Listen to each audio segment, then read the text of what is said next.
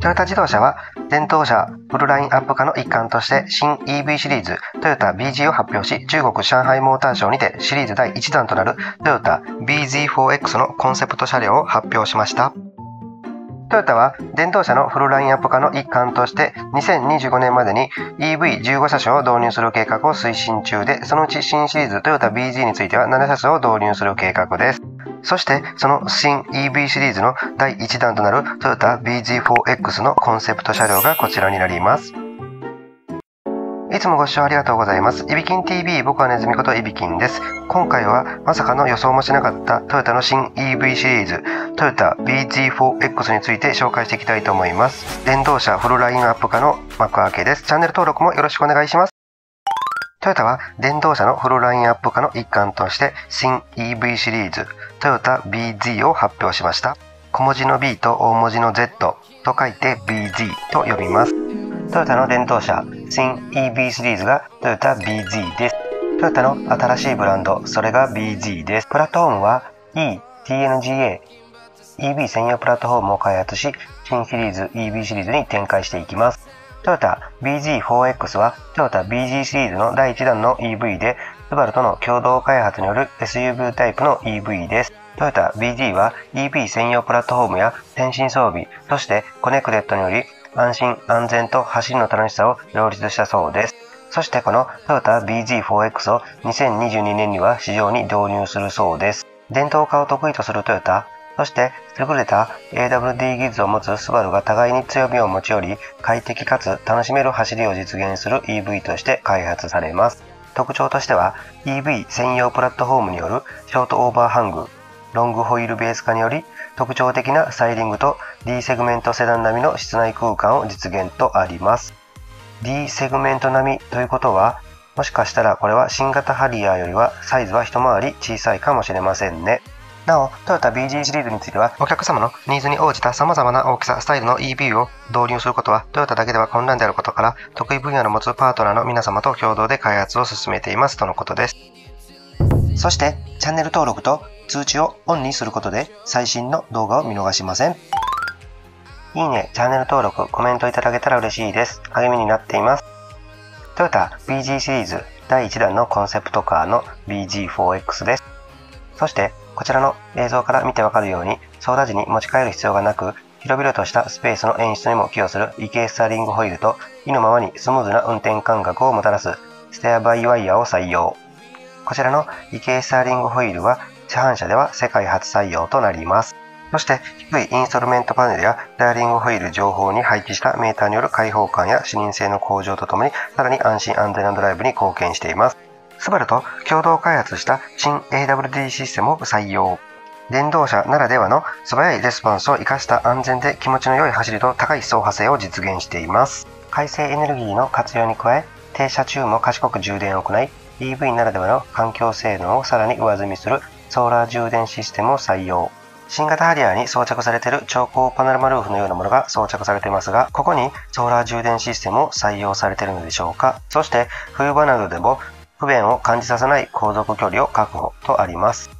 なお、トヨタ BG4X は日本と中国での生産を予定しており、2022年年王までにグローバルでの販売を開始する計画と書いてあります。2022年の年王ということは、来年の今頃にはさらに詳しい情報が出ていることでしょう。レクサス NX、RX に続き、クラウン、そしてこの BG4X、ますますトヨタの新型 SUV から目が離せない状態ですね。トヨタ電動車の新 EV シリーズ、トヨタ BG、そして第1弾のトヨタ BD4X ショートオーバーハングロングホイールベース化により特徴的なスタイルを実現。そして D セグメント並みの室内空間を確保しています。低いインパネや広い鉱石スペースにより開放的なインテリアを実現しています。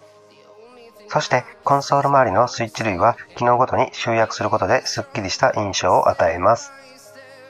さらに、ハンドル上方にメーターを配置することで視線の移動を少なくし、安心安全な運転を実現します。スバルと共同開発をした 4WD システムを取り入れることで、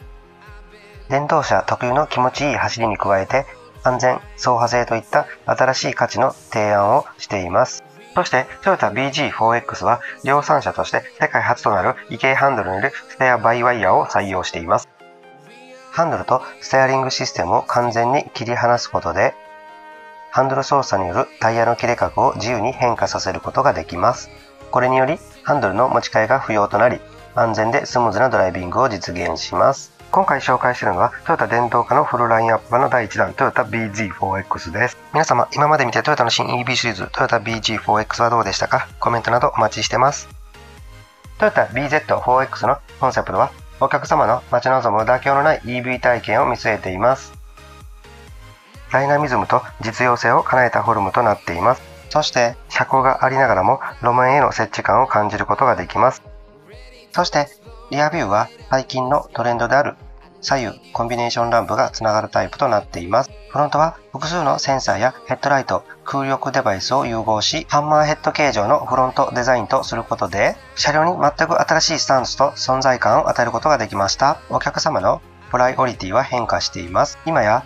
デジタル機器との連携は私たちのライフスタイルの基本となっています。インテリアではフェアバイワイヤーを採用したドライブモジュールが新しい運転体験を創出し、ドライバーは道路と車からの情報を同時に感じ取ることができます。異形ステアリングホイールとステアバイワイヤーを採用が非常に気になります。それは新しいファントゥードライブの体験をもたらすことでしょう。トヨタ BG4X のコンセプト。一つ目は You and Others。自分の大切な人をもてなし、一緒にくつろげる空間を通じて人と人との関わりを変える体験を生み出す空間を提供しています。2つ目は You and Your Car EV 専用プラットフォームや先進装備、コネクティッドにより安心安全の走りの楽しさを両立します。3つ目は You and the Environment 海性エネルギーや太陽光エネルギーを利用し、エネルギー回収による環境への貢献を目指します。トヨタ電動車のフルラインアップ化新 EV シリーズトヨタ BZ そしてコンセプトカーの第1弾トヨタ BG4X は2022年の年号までには市場に導入したいとトヨタは計画しています。トヨタ BG4X のコンセプトのコンセプトワードはアクティビティーハブ家族や友人たちと一緒に過ごすときコミュニケーションするときの絆の役割を担ってくれる車です。トヨタのプリウスから始まった電動車のラインアップは今やハイブリッドで45車種。PHV で4車種、EV で4車種、FCV で2車種となっており、乗用車から車用車まで幅広く展開しています。電動車の販売実績は累計では1700万台を超えています。新型ハリアーでもない、レクサス NX、RX でもない、トヨタの新しいブランド BZ、その BG シリーズの第1弾 BZ4X の登場です。トヨタ BZ4X は2022年年号までにグローバルでの販売を計画している大注目の車です。最後までご視聴いただきありがとうございます。いいねとチャンネル登録をよろしくお願いします。動画作成の励みとなってます。また皆様の感想やコメントお待ちしております。いびきん TV では新型ハリアを中心に動画投稿しますが今後も最新情報など気になる情報があれば動画投稿していきたいと思います。また皆様でこのような動画を投稿してほしいなど希望がありましたらコメントの方からよろしくお願いします。それでは最後までご視聴ありがとうございました。